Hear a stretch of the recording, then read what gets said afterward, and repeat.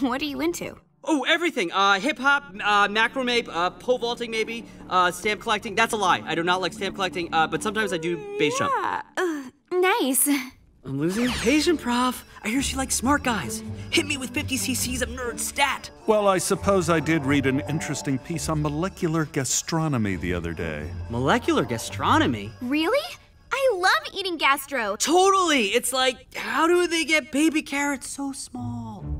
That's not what that means. Like at all. It's Hyde!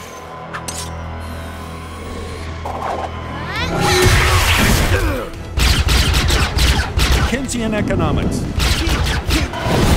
Something about economics? Spooky action at a distance. Spooky fraction assistance.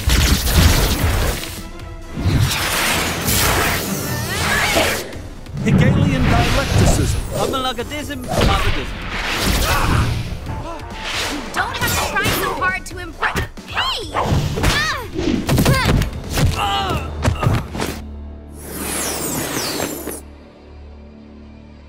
The heat is on!